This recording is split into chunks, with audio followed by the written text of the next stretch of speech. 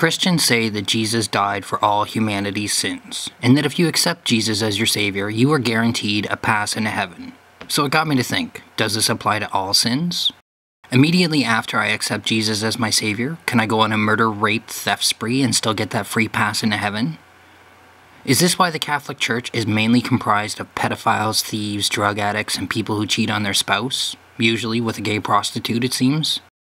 There has to be some limit to the extent of how much sinning you can do before getting called out for it. Or is it really just a blanket coverage for all sins? Do psychopathic murderers go to heaven with the same evil sinners who took two pennies from the take one penny jar? I asked a Christian friend, and she said some sins had more weight than others. Some were easily forgiven, others not at all. Seems a bit misleading. Shouldn't the statement then be, Jesus died for some of your sins? And shouldn't I get that list of sins so I know which ones are covered and which ones aren't? I'm assuming that murder is not one of those sins covered by what Jesus died for. But wait a minute. Does that mean he was crucified for all the wimpy sins? Things like do not covet thy neighbor's wife, house, and ass? That's a bit fucked up if you ask me.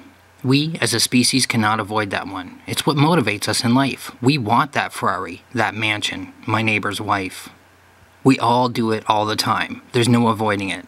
Next time you're in a coffee shop and you see that delicious looking donut and you think to yourself, that looks nice, I think I'll have one of those. It's your fault some guy was nailed to a cross in his underwear where he was left to die an agonizing death. All because you wanted that donut. Funny thing though, rape isn't a sin in the list of commandments, so you can pretty much rape whoever you want, just can't be someone you covet.